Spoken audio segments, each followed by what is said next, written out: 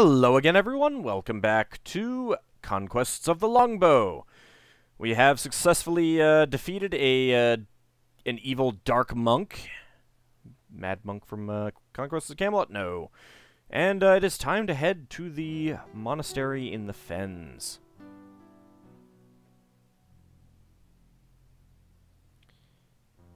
Alright, so we're here. This looks to be the only path leading to the edge of the fens. Let's make our way down there.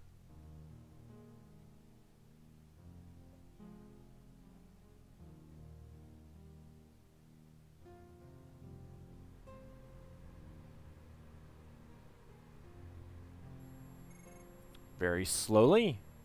Very, very slowly. Hmm. It is an interesting uh, look to it here. The ground here is boggy and unpleasant.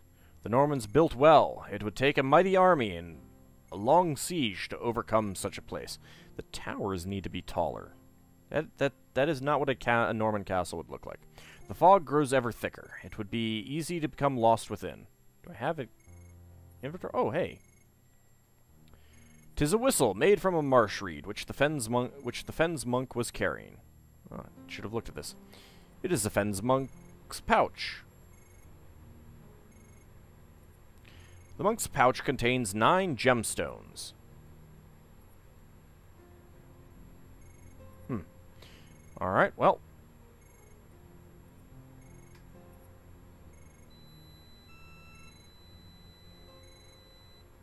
How do I know what to blow? I hear something coming through the fog.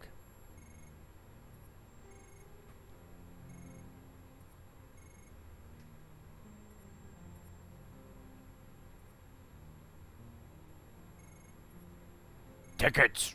Next! I heard your signal, brother, but I don't know your face. Have you newly joined our order?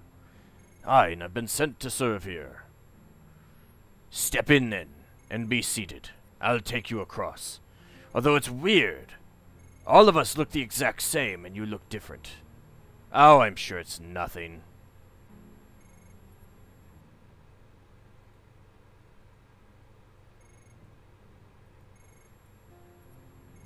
Alright, do I use a hand? There we go.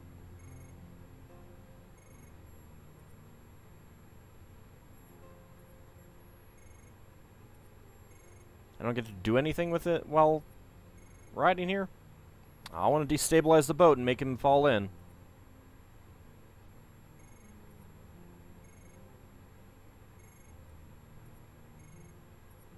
Do do do do. Hey, we're fording the river. Shh, I must concentrate. Silence! I must find my way by sound and feel. Disturb me again and you'll sleep at the bottom of the fens this day. Oh, wow, that is... Some people never learn.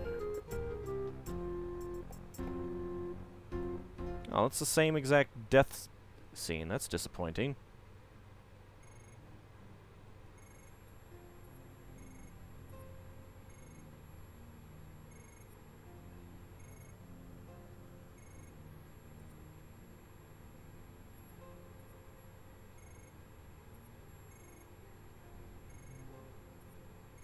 Can't alter the speed any.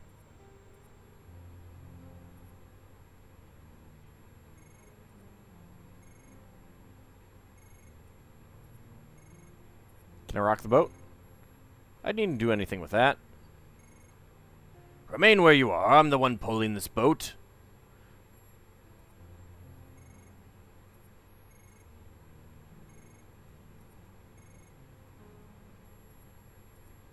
I care not to touch this water. How can one grasp insubstantial tendrils of mist?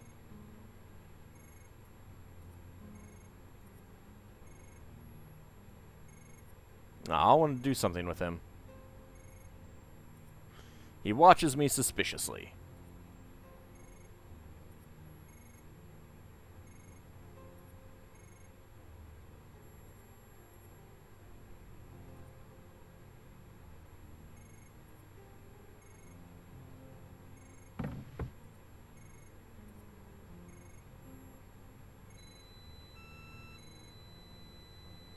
Probably should have saved it.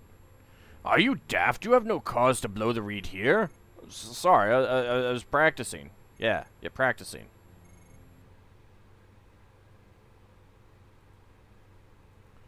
Take another quick save, and... Can we talk? Contemplate the virtues of silence, brother. I have business inside. Let me pass.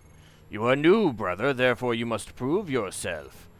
I must have the tokens you bear for the guardian of the gate. Nothing but the tokens will serve to make me stand aside, brother. Uh, here go.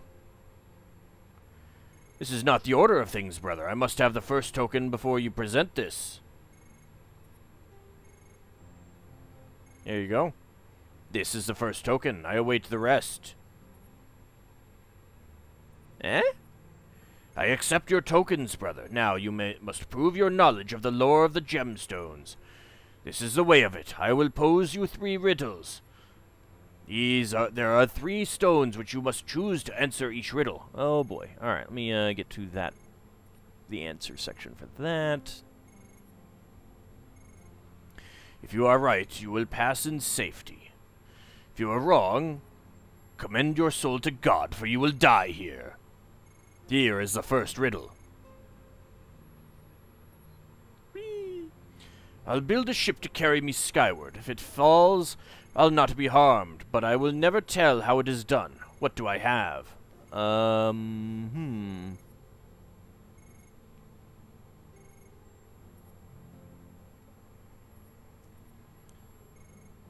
hmm. Let's see. Hmm.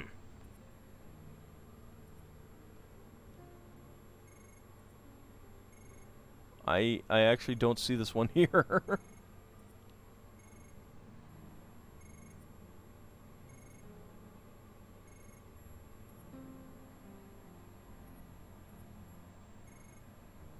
Let's see.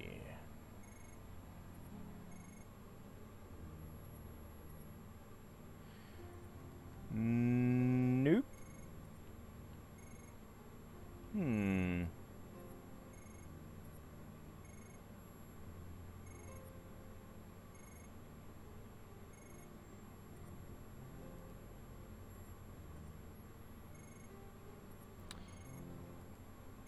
All right, maybe uh, it would be best right now to die and try to get a new uh, a new riddle.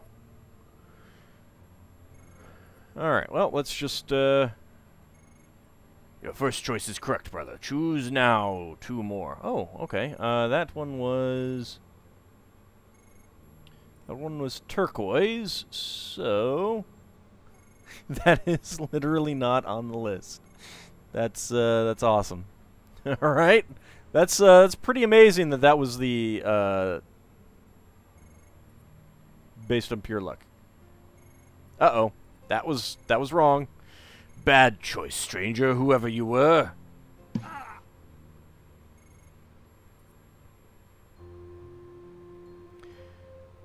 I hear the monks dumped Robin's body in the fens after the Guardian cracked his pate. Aye, he failed to study his gemstone lore. I'll not go ne near those fens now and see his drowned soul lighting the swamps with their with the other will will o the wisps. He'd be safe enough with a piece of jet or lapis lazuli in hand. How do you know that? Studied my gemstone lore in the book, that's how. I suggest you do the same. Alright, well, let's uh, try that again. Okay, here you go.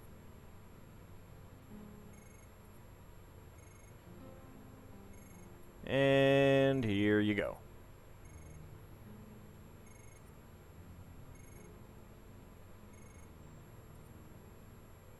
I must go into battle.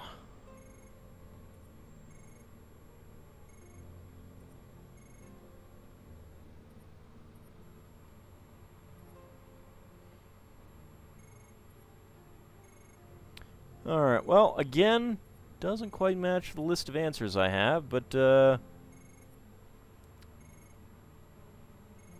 Okay.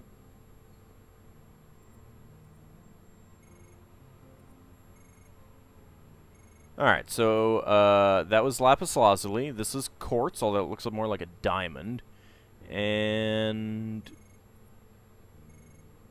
What next? Sapphire. It's actually a star sapphire. Good. Here is the second riddle. Sadness weighs upon my soul. My heart aches to be filled. Would that I could steal into my love's chamber unseen. Okay. Alright, so first of all, agate. Your first choice is correct, brother. Choose you now two more.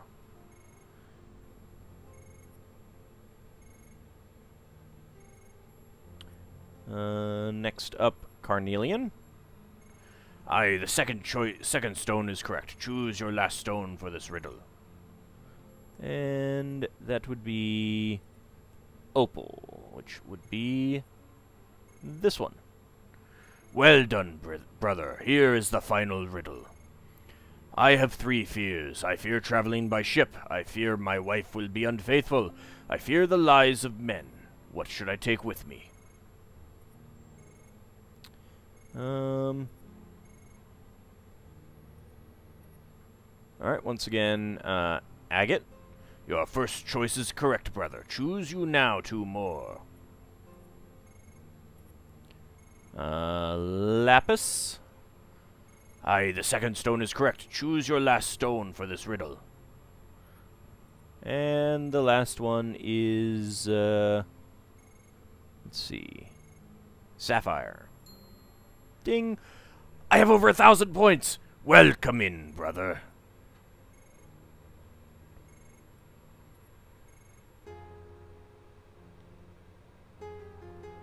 All right, well let's uh, let's get a quick save here. Now that I'm here, and let's take a look around. This is the way back to the front gate. There's a monk within in contemplation. I deem it wise not to disturb him. These cells are cold and sparsely furnished. These monks lead an ascetic life.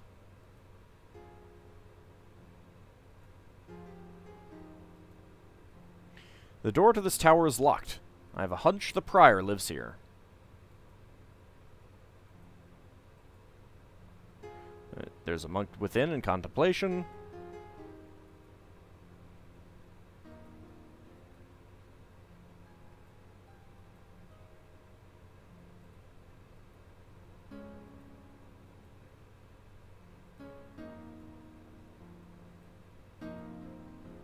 Monk stands guard over a prisoner that's being tortured in this tower. Oh, well, that's nice. You know, a little bit of torture. Never hurt anyone, except for the person being tortured. And everything else. The stonework of this cheerless place is dank and chilled by the mists of the fens.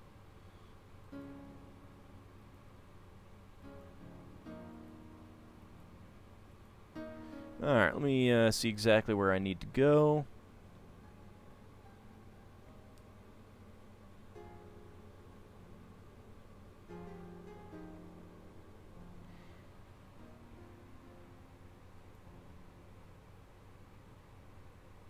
There's spiral stairs leading upward in this tower. Same thing there. It's an empty room. The prior and the other monks are in this refect refectory. Yeah, refectory.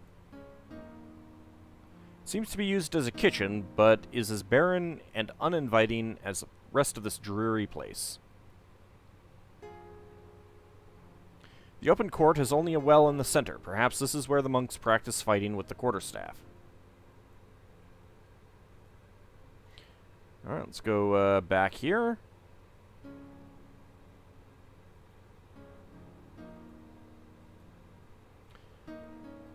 The prior and the other monks are in this refectory.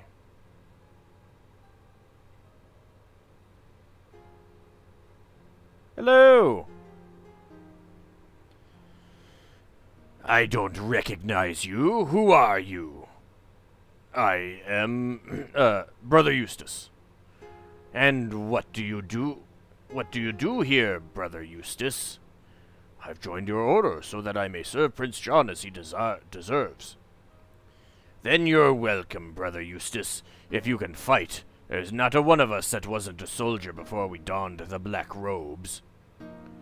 There are those with good cause to fear the skill of my arm, your worship, or I would not be wearing this robe. Good, we'll have to put it to the test soon.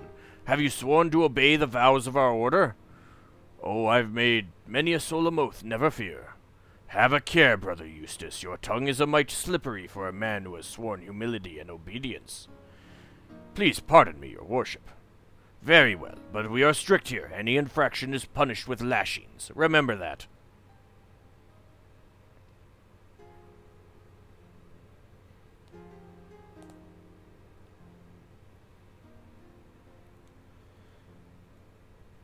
It's a miserably cold floor. I was actually trying to look at the table. The tables are old and much used, probably left behind by the Normans. The doorway is open, but I can see little in the darkness beyond beyond it. More cold and unfriendly stone. The torches provide the only light and warmth this room has. The Normans who built this fortress must have left behind this effigy of a Norman knight. Of course, you know, Richard himself is a Norman. They all look the same with a hood over their heads. Can I talk to them? Silence is better than talk, brother. Oh, that's no fun. Alright, um...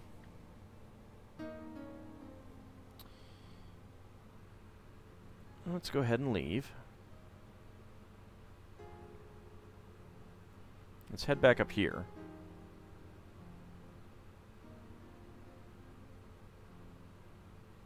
The prior is within, surrounded by tor- oh.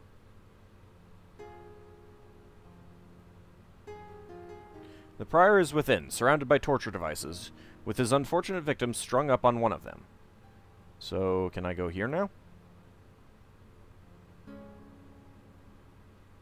The door to this tower is locked. I have a hunch the prior lives here. Alright, so not there. Um... Alright, let's try going back here again. And actually entering.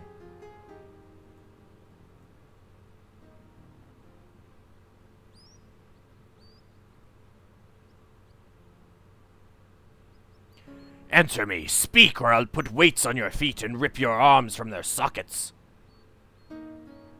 Ahem. Bah! I tell you, Brother Eustace, I've never seen a more stubborn, stupid creature than this miserable dwarf. Aye, he does look miserable. I've wasted enough time here. You're to stand guard and increase his pain in any way you can.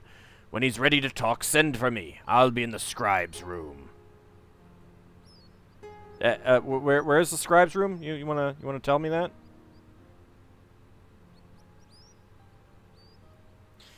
Never see seen such a thing, but I can guess its purpose is to cause physical torment. I was actually trying to look at the rat. This place is overrun with rats. I actually just saw a rat outside in the yard today. It's kind of gross. Whatever it is, it must surely have an evil purpose.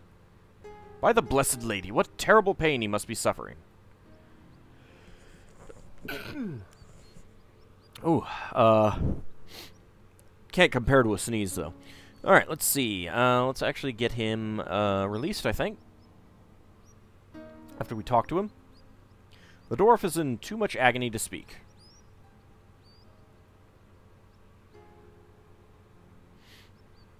I can't pull on his body without causing him worse pain than he already suffers. I needn't do anything with that.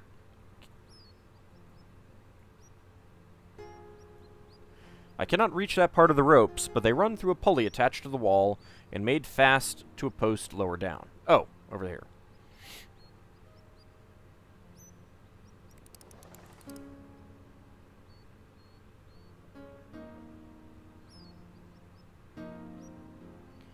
You you set me free, but but the prior bade you...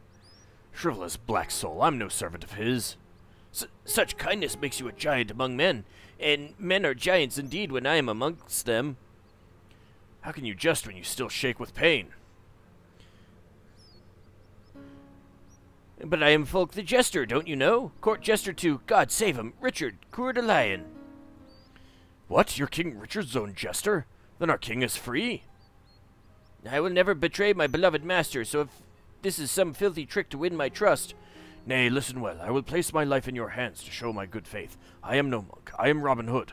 Oh, uh, sorry. Should that mean something? Only that I'm the most hunted outlaw in all England. You have but to whisper my name to the, these monks, and I'm a dead and, and I'm a dead man. Pray pardon me. I've been on the crusades with Blessed Mary protect him, our beloved king, for many years. Alas, he's still a prisoner in Europe. Uh, we're we're in Europe right now, actually. But how came you here? My master sent me ahead of him, so I escaped Leopold's ambush. But upon reaching England, I fell into Prince John's hands. May he suffocate in offal. He turned me over to these monks who seem to know you well enough. I swear by the Virgin Mary I'm not one of them. The prior swears by the Holy Three, yet he tortures me. How would you have me prove myself, Fulk? Why should you want to? As I love my king, I swear I will not leave here unless I take his devoted servant with me. And I will not leave here without my verses. I beg your pardon? They're written upon a ragged bit of scroll wrapped around a wooden cylinder. The prior, may the devil feed him dung for eternity, has taken them.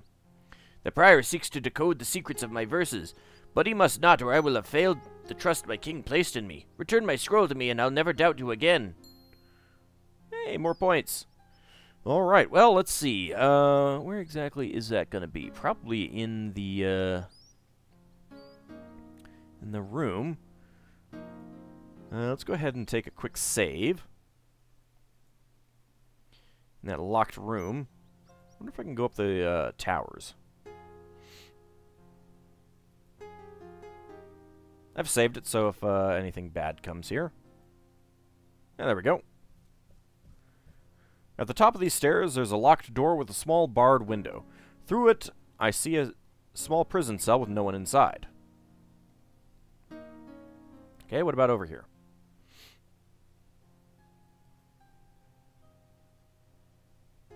I see desks and scrolls inside. This is a room set aside for study.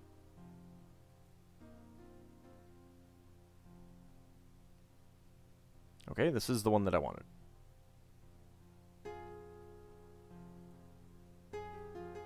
It's a scribe's desk. There are steps for, you, for use in reaching scrolls at the top of the rack.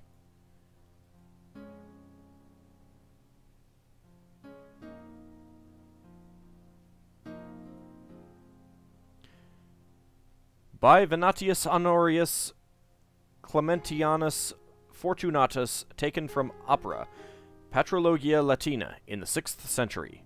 Tis a poem entitled Curse on the, on the Chef. Black-hearted wretch, all caked in smoke, face like a stewpot smeared with soot, like your utensils, filthy black, you three-legged pot, you slimy pan, you don't deserve these verses mine. I'll make a charcoal sketch instead, whose shameful likeness will recall a pitch-black-hearted man withal. And 'tis followed by Take It Easy, which reads as follows. Drop business and lawsuits on the Palatine. This festive table bids you dine and wine. Let din of law and wrangling cases rest, the day is joyous, to relax is best. The duties of the cellarer of a monastery are described. He must be intelligent, mature of character, sober, have no greed, nor be lazy or insulting, nor boisterous. He should do nothing without the abbot's orders, and do whatever he is ordered. He should not offend the brothers, and should answer with humility and reason toward any reason and reason any untoward request. He should care for children, guests, the sick and poor, for by his treatment of them will he be weighed on the day of judgment. And then, of course, his heart will be eaten by the Ammit. He is to look after these vessels and all sacred articles of the monastery. He is to give out equally and fairly the apportioned provisions to all brothers. This is written by Benedict of Nursia in the sixth century in his Regula. the this mm, this scroll describes the death of Attila, as written by Jordanes in the 6th century. Attila had an endless number of wives, as was the custom of his race. But the excess of his indulgences in women, combined with too much wine, caused him to fall asleep upon his back, whereupon a bloody flux from his nose flowed into his throat and killed him. The people of his race mourned him with great clamor. The men cut deep wounds into their faces so they would weep manly blood instead of tears. The women wept and wailed and cut their hair. Yet so terrible was Attila that his death can only be counted a blessing. Isidore of Seville of the 7th century wrote the Etymologies. Herein is a writing upon the origin of glass. It says glass came from Phoenicia, next to Judea.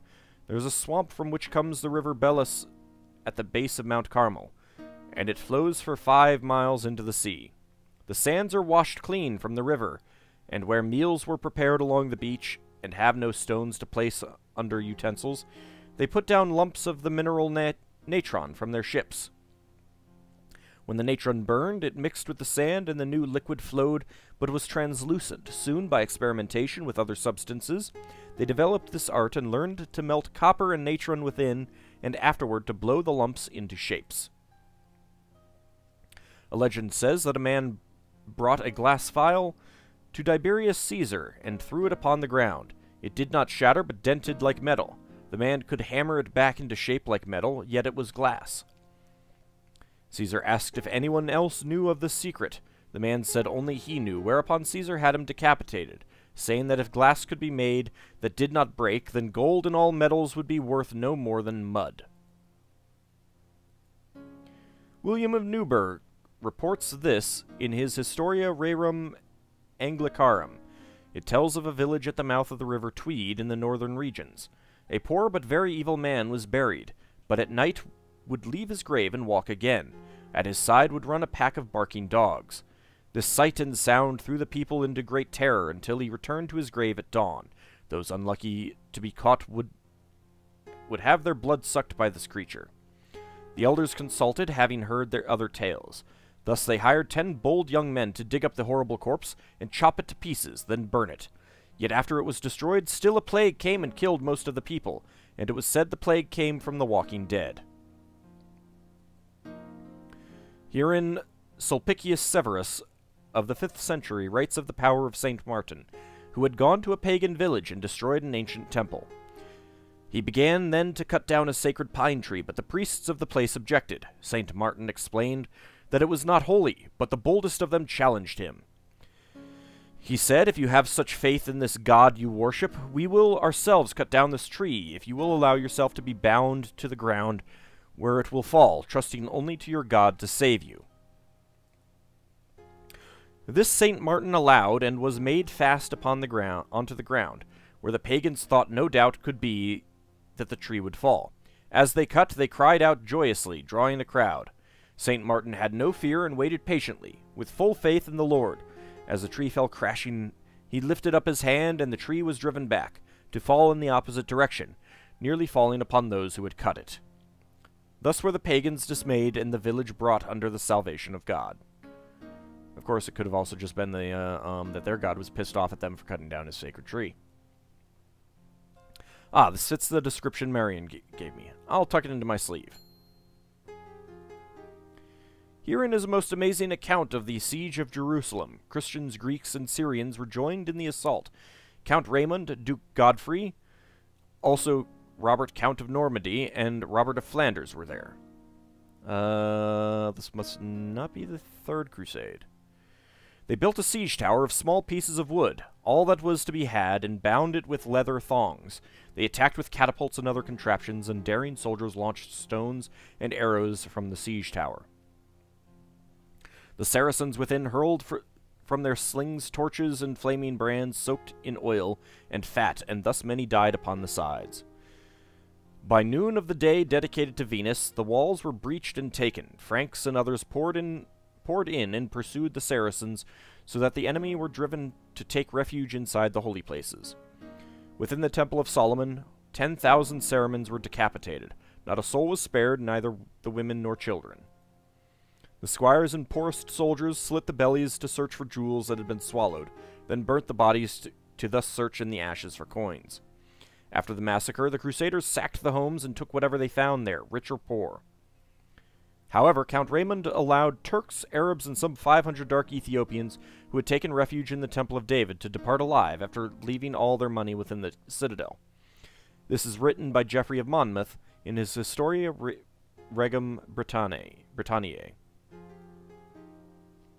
The scroll tells of Amazons. These were wives whose husbands were killed in war. Deeply affected, they rose up and killed all the men who remained, so that all the women would be equally affected.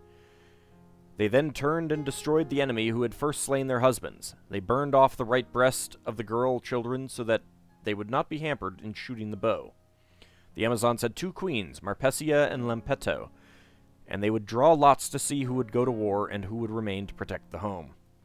The Amazons conquered most of Europe, took many cities in Asia, and founded other cities and became rich with plunder. Such fear did they spread that at last Hercules came with nine warships and assaulted them by surprise, and massacred the two sister queens who ruled then, Antiope and Pentha, uh, Penthesilea then became queen and fought heroically in the Trojan War. Thus reads the history of Paulus Orosius of the 5th century. The scroll contains a piece of history written by Paulus Orosius of the 5th century. It deals with Visorus, king of Egypt in 480 Anno Domini. Visorus declared war upon the Scythians and sent an envoy with the terms of submission. This only angered the Scythians. Thinking Visorus both rich and stupid, the Scythians warned him to beware the uncertainties of war. Then, to forestall the attack on them, they marched forth and attacked Visorus. They drove Visorus out of his own realm, but the Egyptian army forced them to retreat until they were too severely hampered by marches to continue their war. Thereupon the Scythians instead subdued Asia in war lasting 15 years. They were only forced to return to their homeland by the demands of their wives, who threatened that if they did not return, the women would have children by men of other tribes. Here is a description of a palace in Constantinople called Magnaura or Magna Aula, meaning the Great Court. The emperor's chair within this place was so constructed that it could be raised to a great height, even unto the ceiling, and lowered again. Before the seat was a tree made of gilded bronze, in whose branches were birds of gilded bronze, which would utter notes to match their species. Gigantic lions of gilded wood or bronze had tails that would lash the ground, jaws that opened to emit roars with quivering tongues. This was written by Liutprand in his Antipodosos, Antipodosis in the 10th century. From the Vita Caroli, written by Einhard in the 9th century, is a description of the habits of Charlemagne, ruler of the Franks. It says that he was extremely temperate in the partaking of food and drink, especially drink, and abhorred drunkenness, especially in himself or any of his family. He ate only four courses in his daily meal, and most dearly loved hunted meat roasted over a spit. During the meal, he would hear some sort of recital or entertainment of history and stories of ancient deeds. Often in summer, after a light meal of fruit, he would sleep for two or three hours, and he would wake four or five times during the night. He would admit friends, litigants, and do other business even while dressing if the need was urgent. He knew many foreign tongues and was exceedingly skilled in Latin.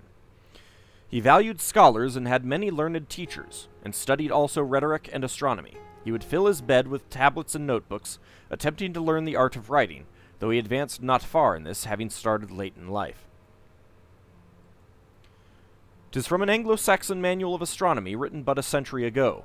It notes how the sea flows according to the rising of the moon, and that a tree cut down during a full moon will be harder against worm eaten eating than those cut down under a new moon. It is not stars, but fire that falls from the sky, being fire which flies from heavenly bodies. For stars are fixed as God placed them in the firmament, and cannot fall as long as this world endures. Yet the moon, sun, evening, and day star, and three other stars are not fixed, and move in their courses through the heavens. Septem planetae, these seven are called. Uh, planetae means the wanderers, if I remember correctly. And I believe that's all of the uh, scrolls here.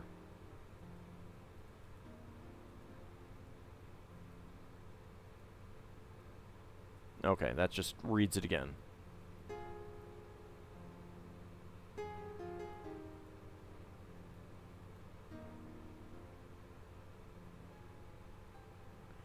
Alright, well, we've got uh, one of our scrolls. Let's take a look at that. It is a scroll. It is the scroll I took from the scribe's room. Uh, but next, I imagine that the uh, the prior is looking at the scroll that Fulk needs. The prior is engrossed in studying a small scroll. Alright, well, in the next episode, we will attempt to uh, retrieve that scroll from him. See you next time, everyone.